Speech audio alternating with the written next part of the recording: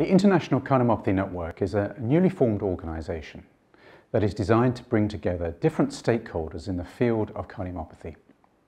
Specifically, we wish to bring together scientists, clinicians, patients and families, and industry to work together on a, on a new mission to improve the quality of care for patients with cardiomyopathies and to promote education and training. This year, we have launched our first educational program, Heart Muscle Talks, which is a monthly event that allows young investigators to present their work to their peers and to key investigators and opinion leaders in this field. We are particularly excited by our collaboration with the Greek National Network for Precision Medicine in Cardiology on our first virtual congress in October.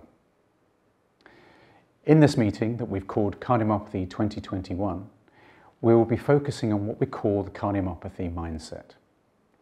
This is an approach to the diagnosis and treatment of disease that we believe has the potential not only to improve care, but also to promote the development of new ways of managing patients. So we look forward to welcoming you to our Congress in October and encourage you to keep an eye on forthcoming events over the next year.